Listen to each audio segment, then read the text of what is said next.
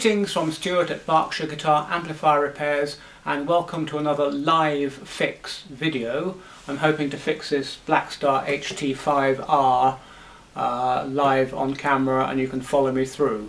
Uh, Paul very kindly brought it in to me and the problem is a very nasty loud 50 hertz buzz and not much signal getting through. Let me say straight away that these HT5s are very difficult to fix. They have one printed circuit board stuffed full of surface mount chips, resistors the size of a grain of salt and capacitors not much bigger. And there, there aren't many faults that you can fix on these amps.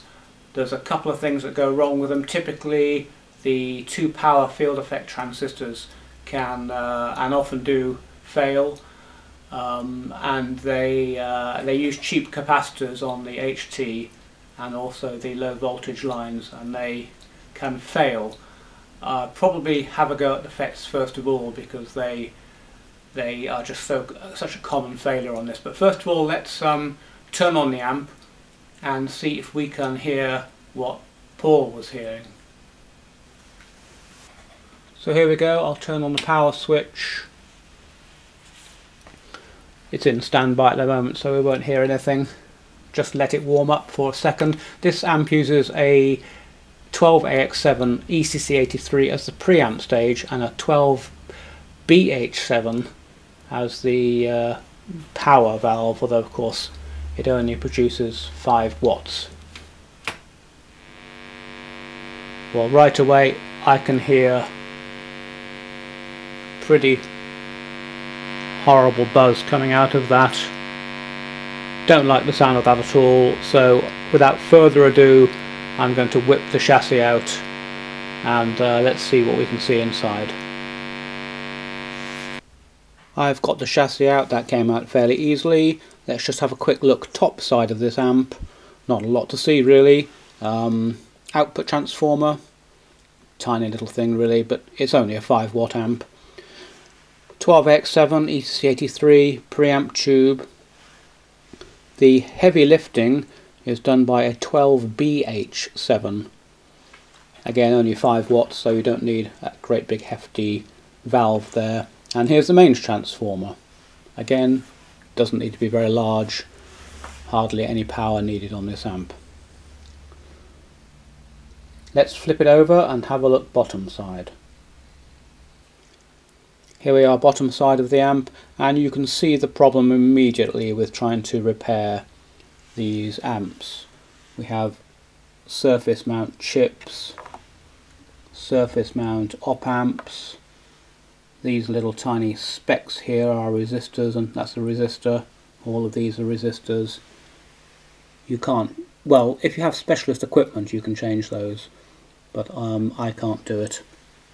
So normally I would um, throw away this board. I hate doing it, but that's that's what you have to do with the Blackstars, and put in a new board. And Blackstar used to sell these boards, but I don't believe they do anymore. So a whole generation of amplifiers is about to end up in landfill because these boards are not easily repairable on a component level.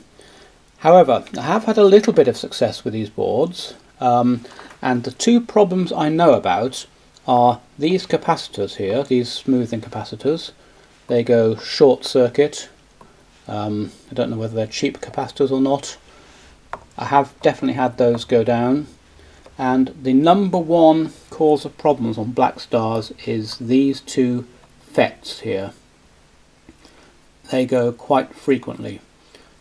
So I'm hoping we're going to get lucky with this amp and it'll be one of these two problems. I'm going to get the magnifying glass out now and have a close look down here at these FETs to see if I can see if, anything, if anything's been going on. Um, if not, I might just change them on spec. It's not too hard to get the board out here. 15-20 minute job maybe. And it's always just worth changing those on spec. So I'm going to have a look at that now and I'll report back. I've had a look now with the eyeglass, my um, jeweler's eyeglass, which I'll show you in a moment, and I definitely do not like the look of the connections on either of these FETs.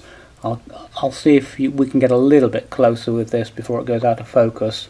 And you might just be able to see they look it looks very odd there, it's kind of corroded and um, maybe a bit of burning or something. So I'm very unhappy about those two FETs there. And uh, I, am going to change uh, I'm going to change those on spec and see if that cures it. Here's my um, little jeweler's eyeglass by the way. Very useful thing for getting very close. It goes right into your eye and then you have to put your head right in to be able to see.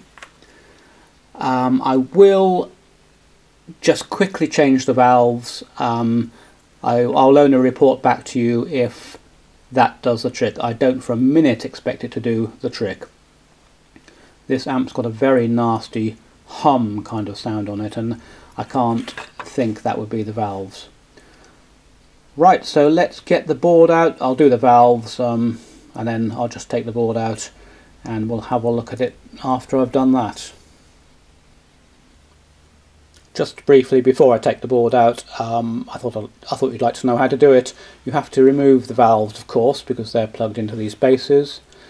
Uh, then I'm going to take all the controls off. A lot of these are very loose anyway. They're not. Um, see that one just one just rotates around. Feel that's just rotating round and round and round. So a lot of them are, are loose. I'll take all the control knobs off. Take all the nuts off that hold the shafts on. Take out these two screws here. One there one there, I uh, one here, three, four, one over here, five. I think that's it. Um, five screws, and then the board will should just joggle out like this and um, I don't have to undo any of these connections or anything. I should be able to turn the board upside down and have a look what's going on. I'm particularly, uh, particularly interested in these capacitor joints under here um, and then also to have a really close look at what's going on on the underside of these FETs. Um, so let's do that now and I'll be back to you in a second. Well I've hit an immediate problem here in that um, the knobs just slide straight off which is why they're loose but these plastic bits here are supposed to remain inside the, the knob and, uh, and they're stuck onto these shafts here so I'll have to have a go at getting those off. This um, knob here is very stiff but just a little, a little, tip here is to just use a screwdriver and, um, and put it in there. And then you'll find that, uh, that you can just lever. It's hard for me to do with the camera holding the camera. Anyway, you can just put a screwdriver in and that'll lever off quite easily that pot. So I'm going to take all those off and have a look and see how many of them have this problem with the with the inner plastic sleeve being free of the knob and jammed onto the spline of the pot. That's all the knobs off and um, I see it's left a full complement of these these black inners. Maybe maybe it's supposed to be like that but I can't imagine it is. Um, anyway, I'm hoping that when I take the board out that these will clear through the holes of the left without me having to try and take them off. To um, to undo the nuts I, I just simply use uh, a spanner like this and um, loosen them all and then undo them by hand. So I'll do that now and take the screws out and see if uh, these black collars clear the, the hole in the front panel. Quick update, well of course they don't clear because stupidly I realise we can't even get the nut off of here without removing this black collar. So I'm going to have a go at one or two of these and see what's a good technique for removing these. I've never seen this problem before on Blackstars, normally the knobs just come off. Have these been glued on or something? What's, what's gone on here? Right, I've got a technique that works um, by undoing the nut almost to the end that gives me a kind of lever point for the blade of my screwdriver. And when I get in there I can again very difficult to do with the holding the camera um, I can lever the black the black collar off. There you go. So I'll go along with the screwdriver and use the same technique on all these and remove these. And I think eventually they're going to have to be glued back into the knobs to prevent them just going round and round and round. Hmm, not good design, Blackstar, nil point for that one. Well here we go, I've got all of those black collars came off reasonably easily using that uh, leverage technique. I've taken out the input jack um, screw and um, I've taken out the screws here, here, here, here, yeah, where are we? One there, look, one up there. Um, no reason now why the board shouldn't come out. Feels fairly loose. So, yeah, you can see that that board is going to come out and clear there quite nicely. I can't do it one-handed, so that won't take me too long to do. And um, I've got a few different little pots here. Look, it's always quite useful. I've got three pots on the go here. These are the outer screws that held the chassis in. Here are all the front panel furniture, knobs and collets and uh, screws for that. And, oh, I've got one in there. I meant to put all the um, screws from the board into here, but I see I've put several into here. Oh well, the thought was there and that, that helps um, reassembly. So what I'll do now is joggle this board out and flip it over and then um, I will probably have to cut this cable tie and then we'll have a look under the board and see if we can see any disaster situations. Well the board came out fairly straightforwardly, a little bit of trouble joggling it past the front panel but I managed and here we are on the underside looking at the bottom of where those two FETs come in, those two FET power transistors. It's a bit of a disaster zone around here. I'm not sure what's gone on. Someone has drilled two holes here. Um, I'm pretty sure they're not standard. In fact, I've got another old board, a board from an HT5 and they're definitely not on there. And look, a couple of holes bodged in there. Was this arcing at some point and somebody tried to um, uh, stop these pins arcing across. That's a good technique for doing that, by the way. The soldering on here is pretty ropey. This joint here looks very dodgy. And um, this connection here has no connection on the underside of the board. It goes on the top side of the board. And that was a bit of a disaster zone up there too. So I think we have no alternative now but to um, whip these two FETs out and see if I can clean this up and make sure that the connections are are correct.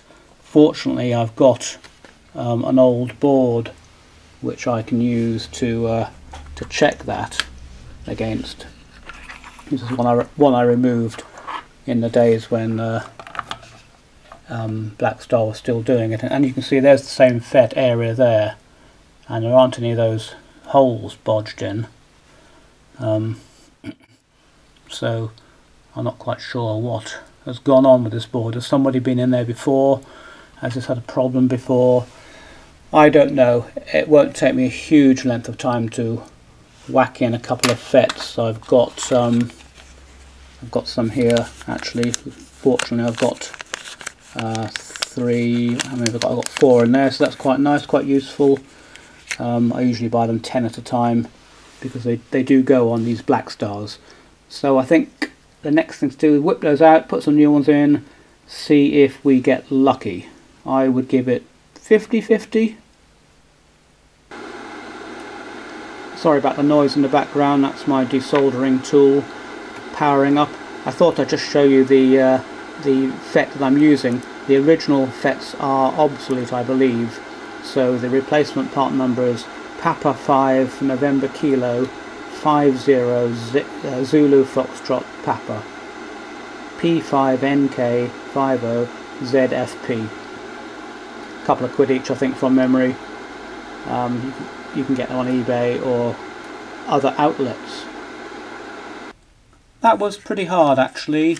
My desoldering tool wouldn't touch those uh, pins. The solder just stayed on there. I had to resort to using um, some Chemwick um, desoldering braid very good stuff this. Um, don't buy cheap versions, get the expensive version and by putting a soldering iron, onto it it sucks up the solder along the braid. And I was able to clean these up.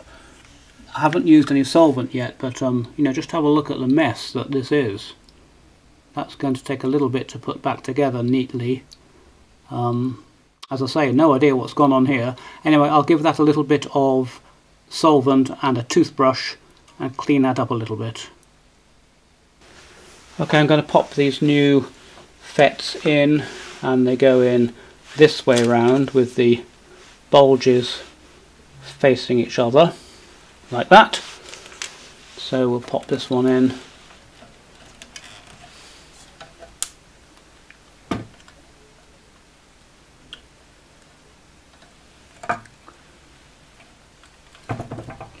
With a bit of luck it'll stay there whilst I solder it. I'm going to have to do some more work on this when I've just just tacked them in because I want to make sure that these are all connected to where they're supposed to be going. And I don't like the look of some of these tracks. So I'm just going to tack this one in here.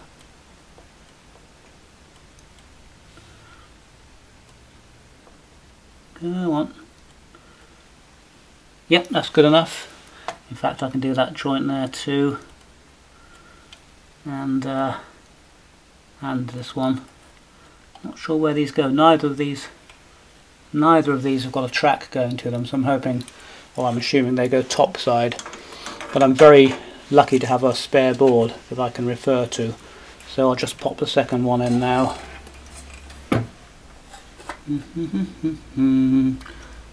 There we go.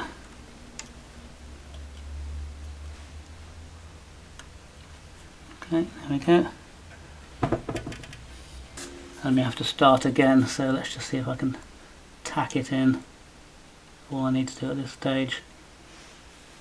Yeah, that's tacked in. Good enough just to work out what we're doing. So what I'm now going to do is using the spare board, go through it track by track and make sure each pin goes to where it's supposed to do. I want to take this slowly one step at a time so I'm going to do the underside of this fet first and checking on my spare board this is supposed to be connected to here. You can you can see the track there. The middle pin is supposed to be connected up to here and this pin goes nowhere on the underside.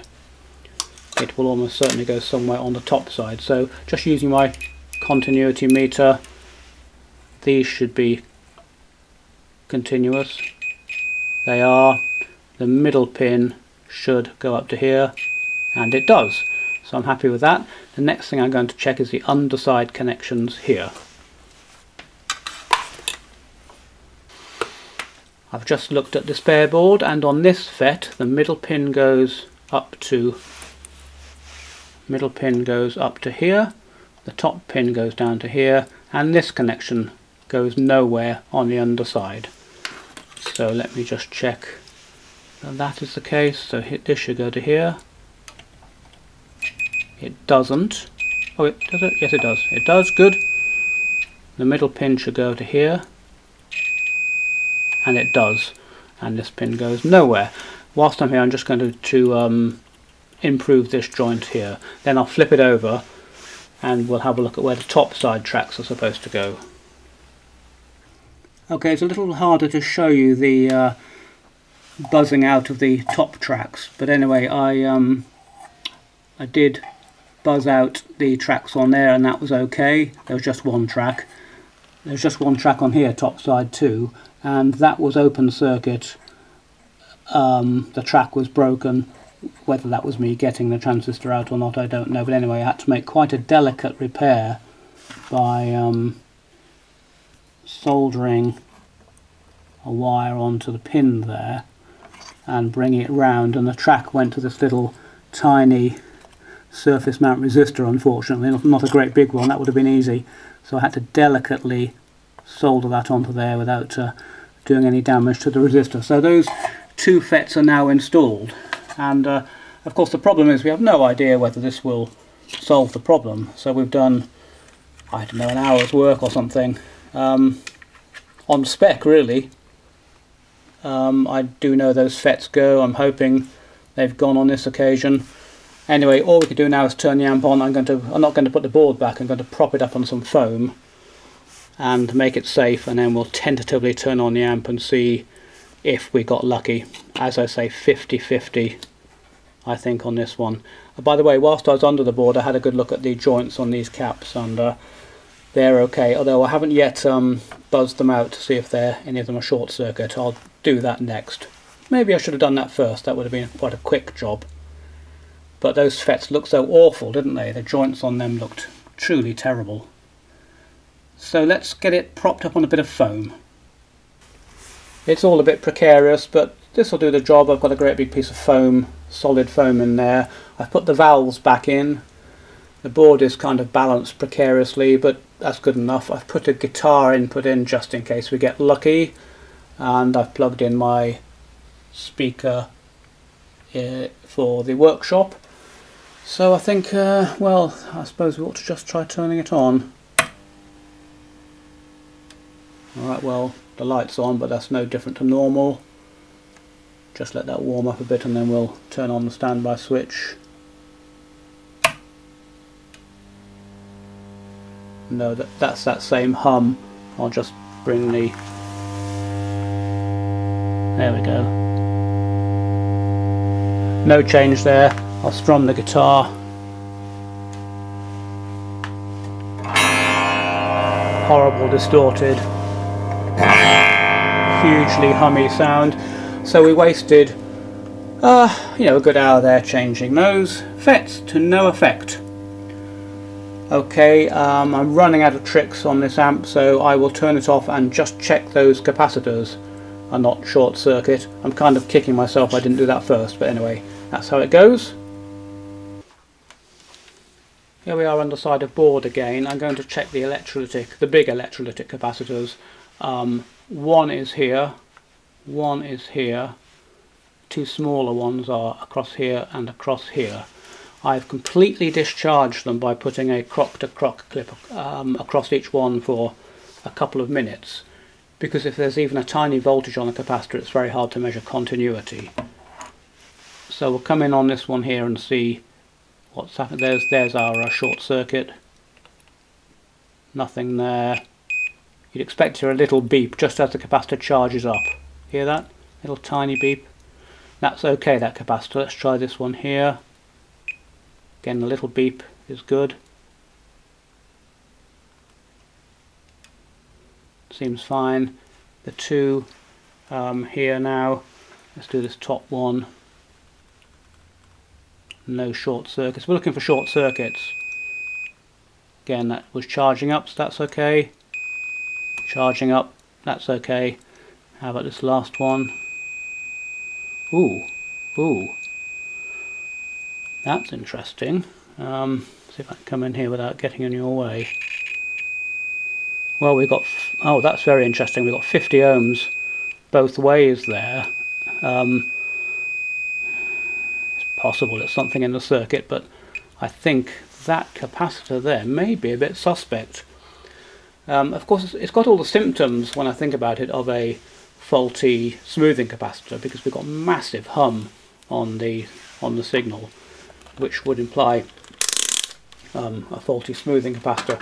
So I'm going to take that out, and uh, I might try and show you that with my um, solder sucker actually, and then we'll uh, pop another one in. Well, we'll take that, test it out outside the circuit.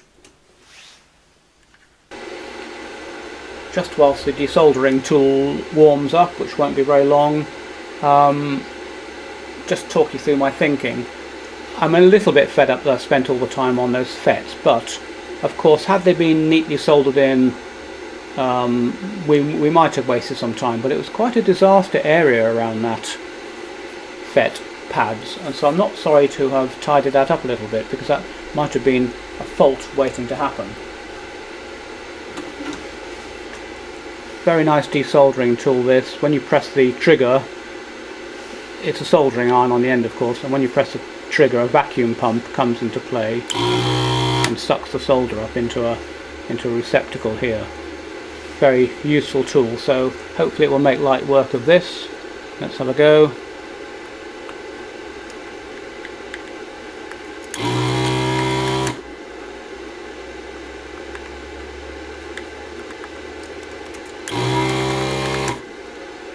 Yes, it, strugg it struggles a bit sometimes. It's not great that.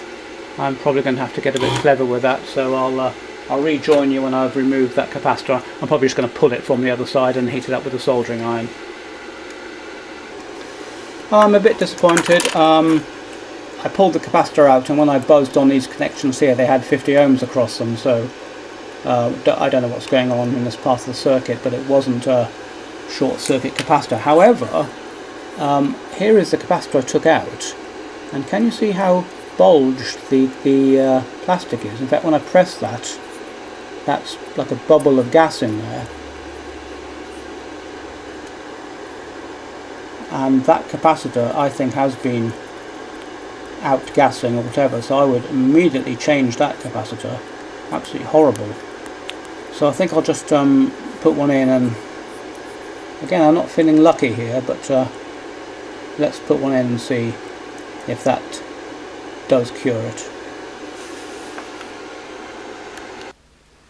just before I pop the cap in there's the old one very bulgy and here's one I took out of my Blackstar spare board. Interesting 25% increase in size for an identical capacitor 2200 microfarads at 35 volts. That tells me that Blackstar had a problem with ultra cheap nasty capacitors going down and in later iterations of the board they put a decent capacitor in. That's just my guess not pointing the finger but it's interesting, isn't it, the size difference between those two. Well, here we go again. Um, there's a second old cap there, and of course, if it does prove to be this cap, I will be changing that. There's a new cap look, standing a bit taller than the other one. We're plugged in. I won't bother with the guitar, because if we hear that horrible buzz again, we'll know we haven't got anywhere. So here we go, we turn on. Um, power. That's come on okay. May as well just turn on standby, let it warm up. If I don't hear that buzz, it'll be good news, but no, there it is, still there. Pretty sure. Doesn't sound very nice, does it? So that's a no fix. Hello again, it's been several hours since I did that last clip. I decided to take a break from the amp and just go and do something else. I find that helps if I, if I get involved in an amp and I'm struggling for a fix. And as so often happens, I've come back to the workshop now with a few ideas about how to move on with the next stage of uh, diagnosing this problem. I guess the subconscious works like, like that and I've been thinking this amp is making a horrible kind of buzzing 50 hertz noise and I leapt straight in to change those FETs just because they go so often on these amps and I've repaired many amps using that method. But actually that wasn't very clever of me because I'm not sure that the FETs would cause the amp to make that kind of horrible 50 hertz buzzing and that's almost always smoothing capacitors. However, um, I'm not kicking myself too much, as I said, because those FETs were in a terrible state anyway, so I would have ended up changing, changing them regardless, just because of the state of the board around that area. So I haven't lost that time. Um, so I've just been thinking maybe the smoothing caps on this board, here's the um, the gash board I had in my in my bin, and um, the, the caps we're talking about are are these here. If you remember, I took this one out and put it into that amp because the the the cap looked pretty bloated and, and not in very good very good condition.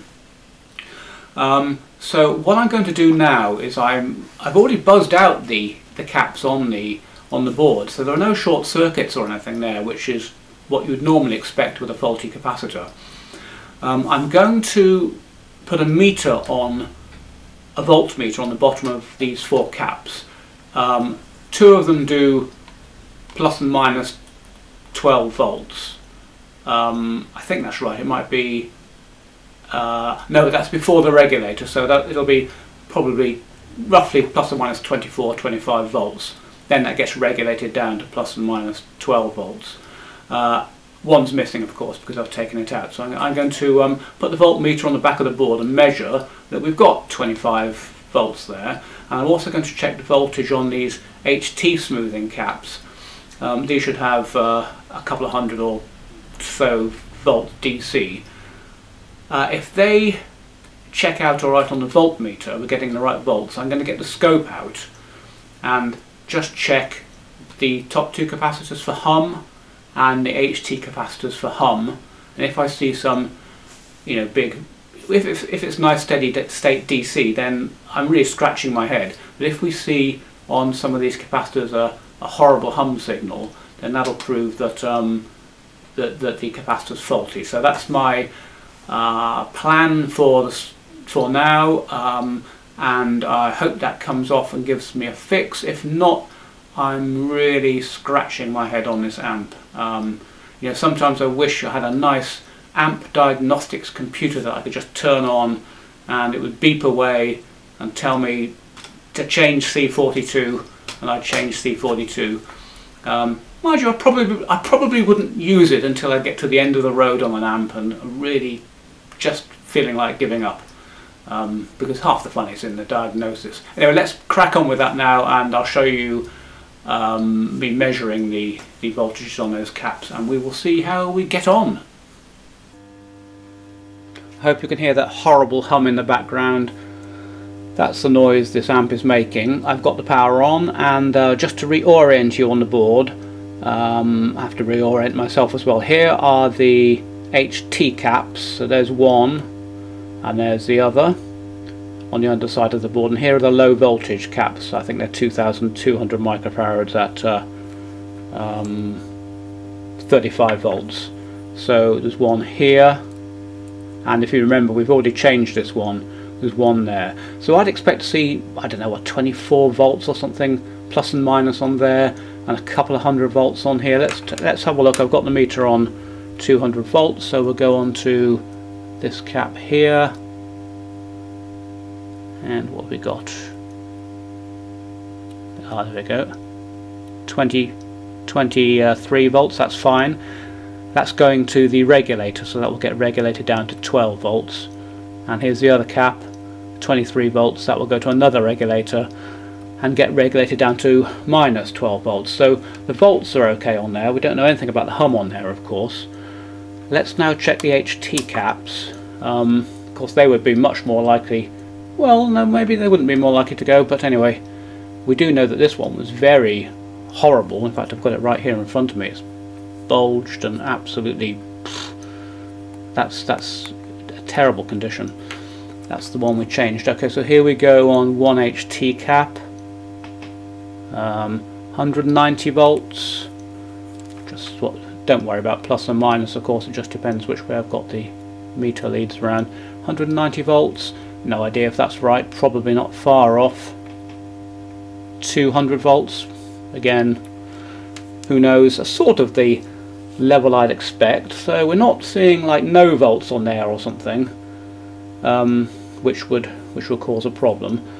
Okay, I'll fire the scope up and we'll have a little measure AC wise to see if we can just just find out where this hum is coming from.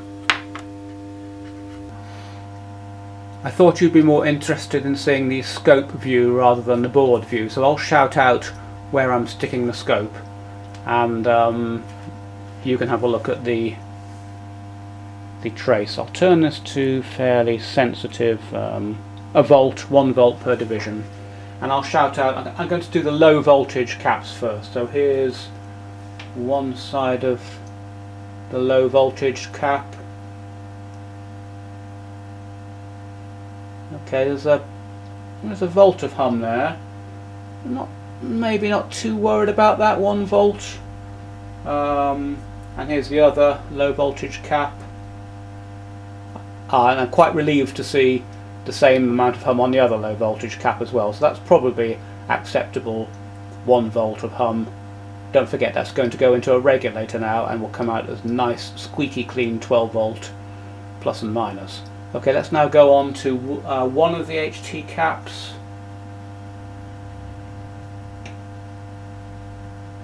Um, not seeing, not seeing, oh there's a little bit of hum there, look. Let me just turn up the sensitivity. Uh, that's 200 millivolts per division. So there's a couple of hundred millivolts of hum there. I'm not the slightest bit worried about that. that so that HT cap has got the correct voltage on and has no hum. Just check the other one, other HT cap. I'll go back to one volt. Uh, where is it? Here. Oh, that's interesting. That's that's either a very high signal or something's happening here. Let's just turn it up to maximum, which is 5 on this setting. 5 volts per division.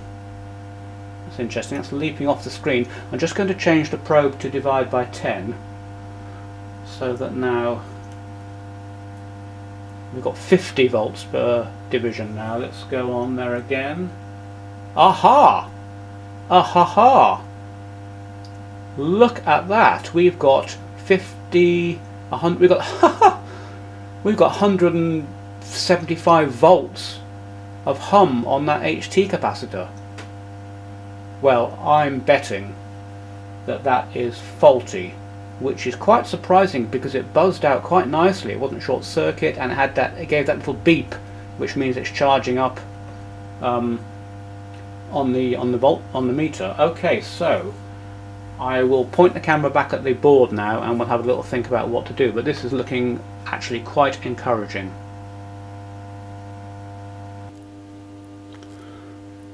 Back looking at the board now I've made myself up a, um, a little capacitor um, 330 microfarads at 315 volts on a, on a pair of crock lead, leads um, I keep meaning to make myself up a proper probe to do this, and I think I probably will after after I finish this video. Basically a capacitor in a nice box with a proper probe coming out, and I can clip onto the chassis and just literally dab the probe onto a capacitor, and that puts the a good capacitor in parallel with um, with a supposed bad one, of course, and that would diagnose a faulty capacitor. Anyway, I'm, I'm just going to um, dab this across here I just want to double check the polarity of this. I think the negative is on the, the right here. I'm just going to quickly, quickly confirm that.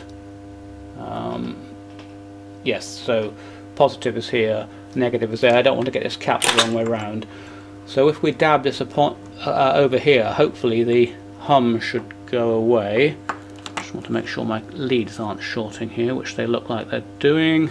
Another reason for making up a proper probe. So let's see what happens when we do this. Oh, look at that. That just killed that completely stone dead. Uh, now I don't know whether I can clip that on there. It's just a little tail of something sticking out there. Then I can um, strum the guitar and see. A bit tricky. Yes, just able to clip that on there. Um, oh, this is fantastic. Look at that. Oh, we're in business. Well, well, well.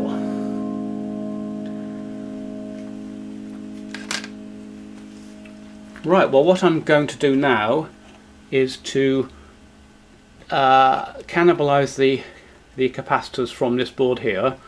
They're, they are the 2HT capacitors. Um, I'm going to put those in in a place. I'm going to swap that other 35 volt capacitor because I didn't like the look of that one either with this better quality um, 35 volt capacitor change all four caps and we have ourselves a fix um, right so good news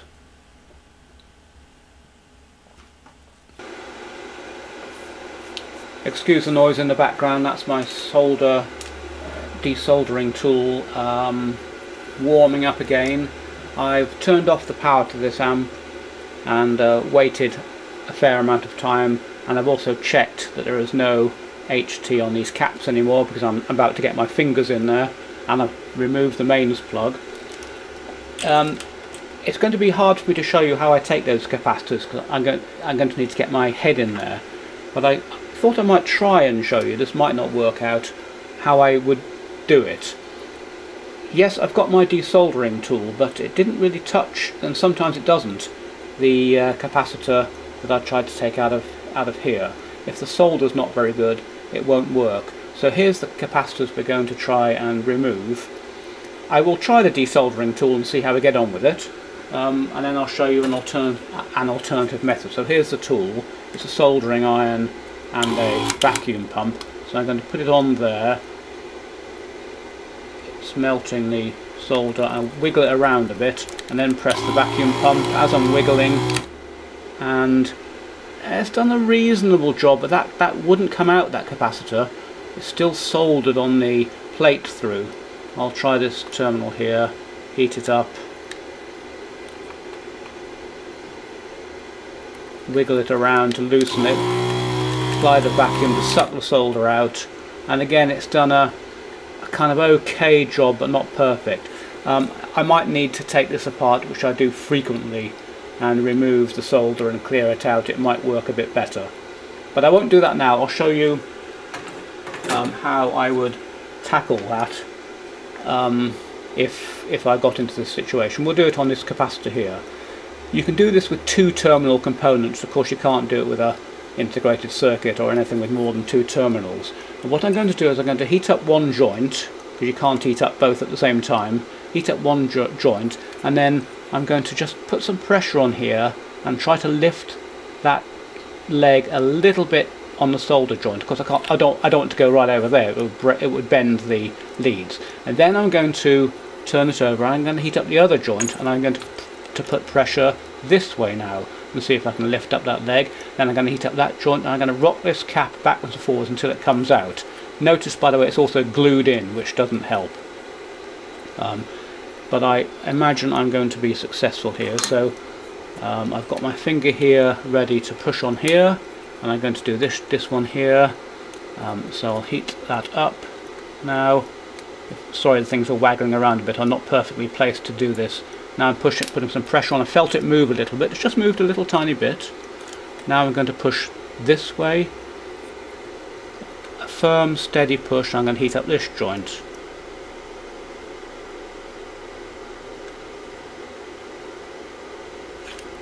It's not playing ball. ah, there you go. It, it moved. It moved rather more than I would have liked it to. It, what happened, of course, is the glue seal broke. Now I can put, that's pretty much out that one. I can heat up this joint again and rock it the other way. And there we go. The capacitor has come out. So I'm going to do that on here but of course it's going to be a little bit more awkward for me to get in there. And then it'll be a question of straightening these with pliers removing excess solder and um, sometimes even that's not enough and I need to to get in there with a file and just file off the any any excess solder because otherwise this has got no chance whatsoever of going back. So if I want to get this back in here when I've done this I need this needs to be perfect so I can pop it back in. Okay so I now I'm going to label up this uh, capacitor here so that I don't forget which is the good one. And then um, I'm going to take these capacitors out and replace the whole lot with uh, with the with the capacitors from the spare board I thought you might like to see what I found when I removed the suspect capacitor. See all this horrible material around here? And here is the underside of that same capacitor. As you can see that's got itself into real trouble so we have a definite fix here. Um, I've taken both of the HT caps out. I'm about to put the new HT caps in. I'm going to use a bit of uh, desoldering braid to clean up these holes before I try and put the new capacitors in. Great stuff this soldering desoldering braid. The solder just wicks straight up the up the braid. Um, but don't buy cheap alternative, use Chem-Wik. Having a little bit of trouble with this one. There it goes. Leaves a beautiful clean clean hole. There we go. They're nice and clean. Um, I'll pop the new HT caps in there and then I'll move on to doing the second of the low voltage caps. Right, I've removed the second of our uh, low voltage caps and cleaned up the holes with my uh, solder braid and I've removed the second of the good 2200 microfarad 35 volt caps from my spare board. So I'm just going to pop this in now. Um, I'm going to put a little dab of glue on the bottom here to stick the cap in. It just stops it vibrating um, when you pick up and move the amp. And if you vibrate the cap it does this over a period of time. And of course these joints become bad. I've done that with the HT caps too so I'm just going to pop this in from the other side hopefully it will fit. I've cleaned up nicely the wires and bent them straight. Yep that's gone in beautifully you can see the, the two leads poking out there so it just remains for me to solder those quickly one two and we're in business we have one two three four uh, good caps in there I'll just check I've got them all the right way round all the negatives go to one side so yep that's good um, I'm going to pop a little bit of glue on this one. I notice it's very slightly wobbly. I didn't actually glue that one in when I when I changed that first one. And uh, that's good to go. I'm quite confident now about putting that all back together and it working. So let's put a dab of glue on there and put the chassis back in and see where we are. I just thought of one other thing I'd like to do. It's only a small thing really, but I've got a couple of strips of plastic here, and um, which I've just cut from some gash sheet. I'm just going to put a dob of glue on each of these cap tops here, and um, glue these little plastic pieces on. I'll tell you why in a moment. It's not very pretty, but uh, no one's going to be looking. They're easily removable if if they need to be removed they just lever off quite quickly and the purpose of those is to give the whole thing a bit more stability. Uh, the reason they glued these caps in originally is for exactly the reason I said when you're bouncing this amp around these these caps can vibrate slightly and, and over a number of years the solder joint on the bottom comes undone and causes a problem and this will just anchor this cap to this and this cap to this and give the whole thing a bit more stability and rigidity. Right, I'm going to put the board back in now. I've put the amp back together now and that all went back together nicely. So final test, amp is switched on. Have volume on the clean channel, dirty channel. Seems to be alright, feedbacking okay. And um, reverb works digital reverb on these boards. Sounds quite nice though.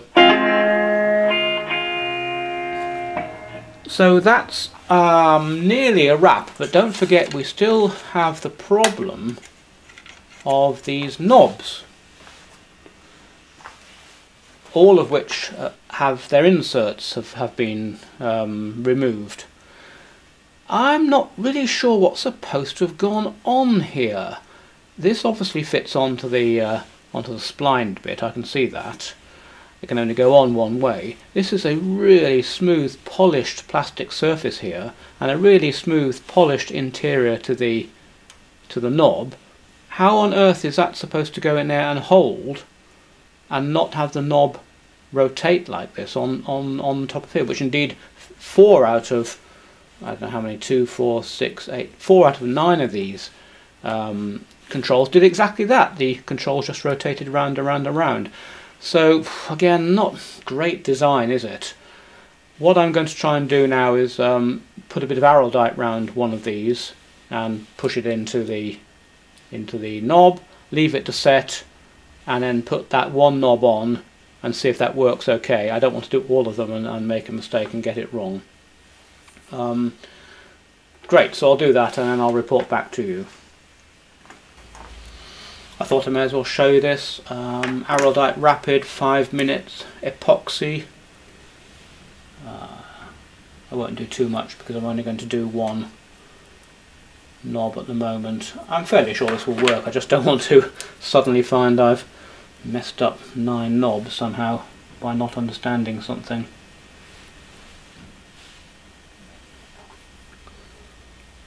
Right, give that a good old mix. Obviously I've got far too much here. Back in the day I used to use the old Araldite two-part epoxy.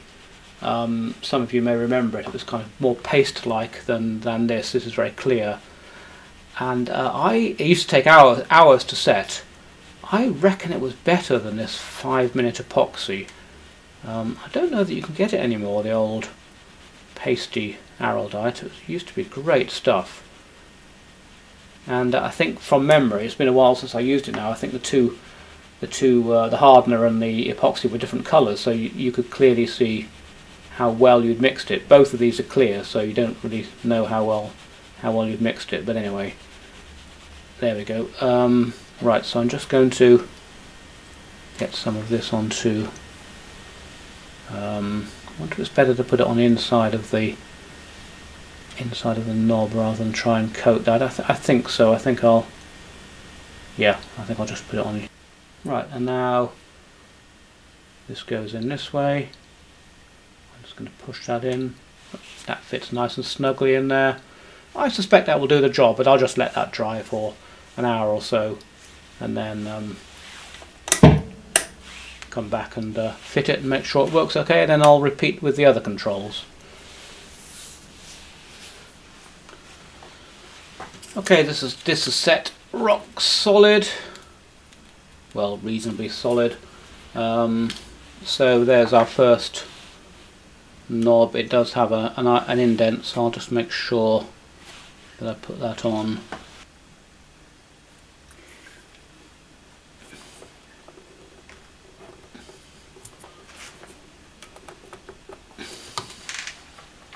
Yeah, I think that's okay. Very tight to go on, but that's probably what we want. And that's not going to rotate around now, so I think we'll um, we'll we'll do that on the others. And just a quick update. I decided to um, try some of the knobs without gluing them on, and all of these knobs um, one of them one of them I glued but all the all of these knobs work perfectly okay and they don't show any tendency to rotate so, so that's without any glue apart from on one of those. These three do rotate in their in their collars. I don't know what the difference is, um, but anyway, there you go. So I'm going to glue just three of these and um, see if I can fix that problem. Well, there we go, another live fix under our belts. Uh, Blackstar HT5R, R standing for reverb, and um, very pleased to have fixed this amp because now I can put out this video and in years to come I'm hoping to save 50, 100, maybe a couple of hundred of these from being thrown away for want of a capacitor change. So thanks for watching and uh, a nice fix and I'll catch you on the next video.